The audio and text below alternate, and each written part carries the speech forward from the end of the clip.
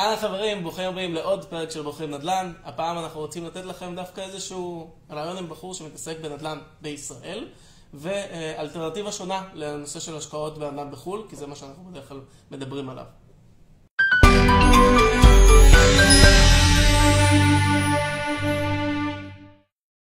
אה, אז חבר'ה, קודם כל תכירו את אה, ויטל. נעים מאוד, ויטל. אה, בן כמה אתה? אני בן 44. ברקע אתם רואים פה את הבת שלי נכנסת ובורחת פה קצת. אוקיי. כמה שנים אתה מתעסק בנושא של נדל"ן? אני מתעסק בנושא של נדל"ן למעשה כבר בגיל 23. לפני שהפכתי להיות עורך דין, לפני שקיבלתי את הרישיון לעריכת דין, כבר הייתי משקיע פעיל בנדל"ן. אה, אחר כך, מטבע הדברים, גם כשהפכתי להיות עורך דין והתחלתי לייצג אה, משקיעים ולקוחות אה, בהקשר הזה, אז התחלתי להתעסק יותר ויותר בללוות משקיעים, ללוות מש... יזמים. אז בעצם 21 שנה בכללי אתה מתעסק בנדל"ן, התמחות בעריכת דין זה בערך 17 שנה. נכון. זה מה שאמרת לי? נכון. נכון? מתמחה 17 שנים בנדל"ן, מתעסק בעיקר בהשקעות בקרקעות שהם בשלבים שונים לקראת הפשרה שלהם. אוקיי, אז בוא נתחיל עכשיו באמת לדבר מה הדבר שאתה מאמין בו, שאתה אוהב אותו, יודע להציע לצופים שלנו.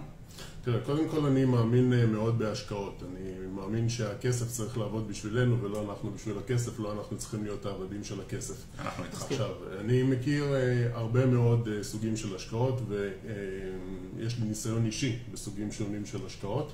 מה שמוצא חן בעיניי בהשקעות הספציפיות האלה בנדל"ן לעומת השקעות אחרות זה שהתשואה בהן היא גבוהה מאוד וגבוהה בכל קנה מידה.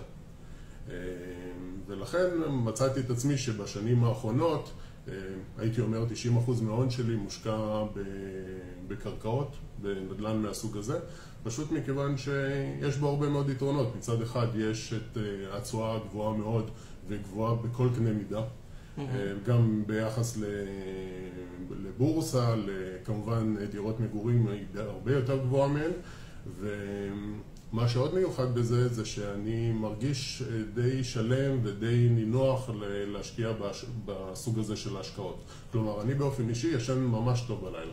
אוקיי. Okay. שאלה, אה, הרבה פעמים אה, משקיעים שמשקיעים דרכך או איתך, אתה בדרך כלל גם משקיע באותה השקעה שהם מושקעים? כן.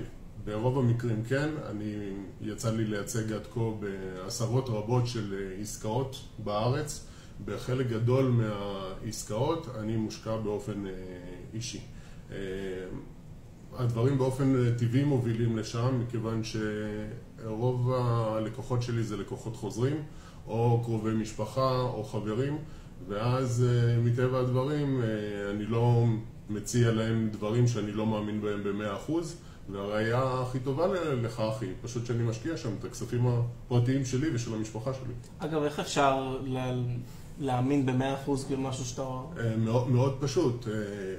אל תאמינו לאף מילה שאני אומר, אפשר להוציא נסח. אתה עורך דין, אז זה כבר מתחיל לא. משם.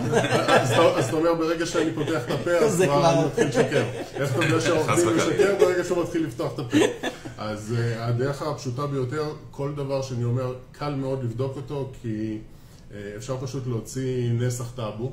ולראות מי בדיוק המשקיעים ומתי רכשתי את הקרקע, אפשר אפילו לראות אם, רכ... אם מכרתי במהלך ההשקעה חלק מהקרקע, כל הדברים האלה היום מאוד גלויים, מאוד uh, זמינים, אז... Uh, אתה בעצם שולח על זה גם דוגמאות למשקיעים שלך? Uh, כן, יש לי לא מעט דוגמאות שאני יכול להציג. אוקיי. Okay.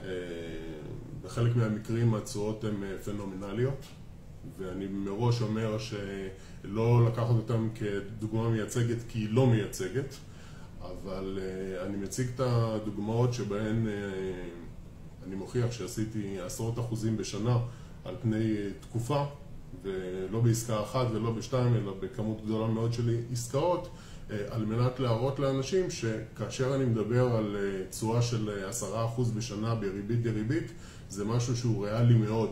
זה לא איזשהו חלום שהוא נדיר ולא מייצג, והסיכוי שהמשקיע ייתקל בו אה, הוא נמוך מאוד. אני, כשאני מדבר על עשרה אחוז בשנה, זה מקרים שהם שכיחים מאוד, ו... אני מאמין שברוב המקרים כל משקיע שמשקיע יחד איתי יוכל לצפות לתוצאה כזו, או אפילו טובה ממנה.